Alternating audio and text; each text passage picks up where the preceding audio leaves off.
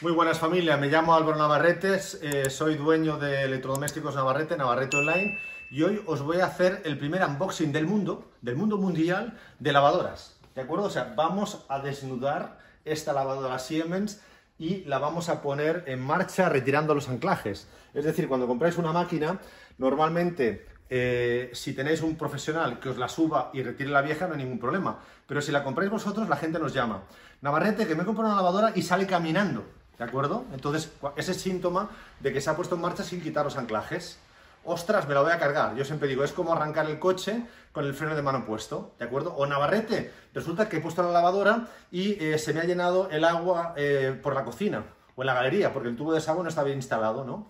O Navarrete es que me hace mucho ruido y cojea, porque no se han puesto bien las patitas, ¿de acuerdo? Entonces, eh, esos serían los tres síntomas de que la instalación y puesta en marcha de la lavadora no se ha hecho bien. Entonces, si no la hace un profesional, debéis tener en cuenta estos cuatro puntos, ¿no? Por ejemplo, bueno, yo siempre lo que hago para abrir las lavadoras, veis que la fábrica normalmente estampa el plástico por una especie de cicatriz. Pues es muy cómodo porque sin, ningún tipo de, cuchillo haces así y, rápidamente rompes el, el precinto. ¿De acuerdo? Esto es lo, que hace nuestra gente cuando entregan. Entonces, al abrirla, le quito el vestido y este mismo vestido nos sirve para guardar los embalajes que deben ir eh, a su, correspondiente reciclaje, ¿de acuerdo? Los corchos con el corcho, ¿de acuerdo? Vale. Tenemos ya la lavadora, ¿de acuerdo? Y entonces, ¿veis?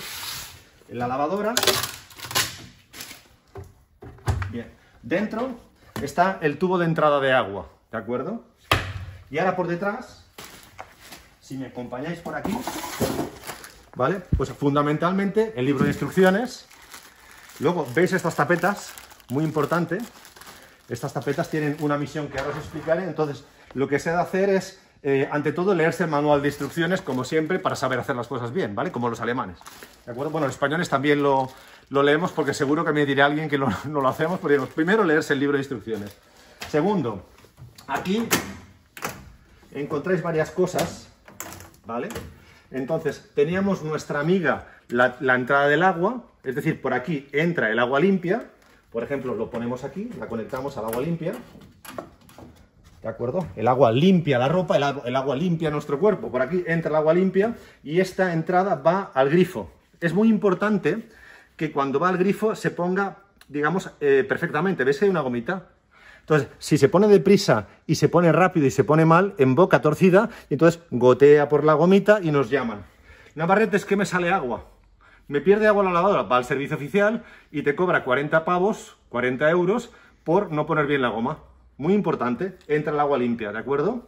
Y por este tubo sale el agua sucia, ¿de acuerdo? Entra el agua limpia, lava y por este, por este tubo sale el agua sucia, ¿de acuerdo? ¿Veis que aquí hay cuatro anclajes? Estos tornillos, 1, 2, 3, 4, su misión es sujetar el bombo para que durante el transporte no, digamos, no se rompa, no sufra.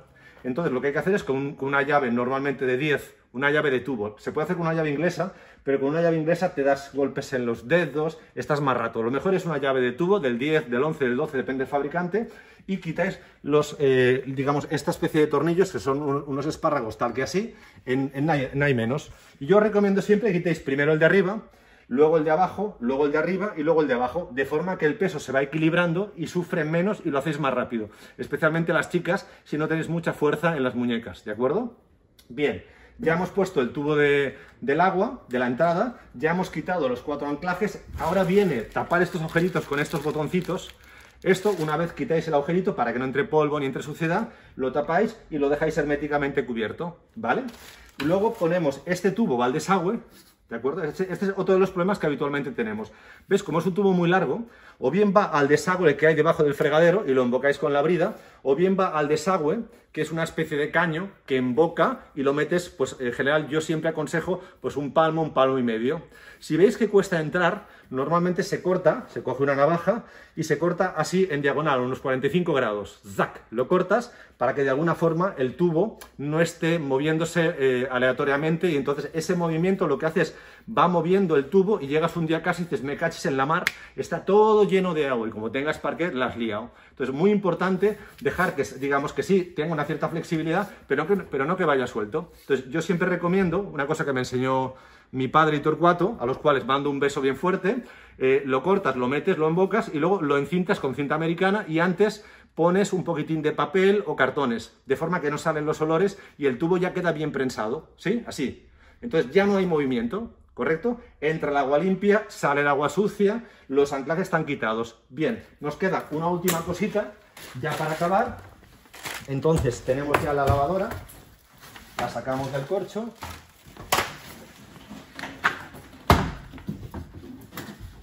Y hay que nivelarla, ¿veis? Las lavadoras, claro, como lógicamente el suelo no es siempre perpendicular a la base de la lavadora, pues hay que poner los, eh, digamos, las patitas bien puestas. Entonces, ¿ves? Si aquí me sigue Bernat, ¿veis estas patitas? Cada fabricante las tiene de una manera o de otras. Pues simplemente en función de la altura del suelo y las irregularidades que tenga, pues se va ajustando para que no coge. Una vez está puesta, se hace así y perfecto. Ya tenemos la lavadora, ¿de acuerdo? Ya la tenemos, lo último que hacemos es enchufar, ¿vale? Para no tener ningún riesgo de seguridad. Ya tenemos la toma de agua entrada, la salida encintada. Enchufamos y abrimos el grifo. Navarrete, que no me va la lavadora. Ostras, ¿has, abierto la, la, llave de paso del agua? Ostras, se me ha olvidado. Perfecto, pues ya está. ¿Vale? Yo creo que no me dejo nada más, ¿sí? Bueno, si tenéis cualquier duda nos llamáis y si no está chupado. Es decir, que si vuestra lavadora camina, no es que sea una nueva funcionalidad, sino que no habéis quitado los anclajes, ¿de acuerdo?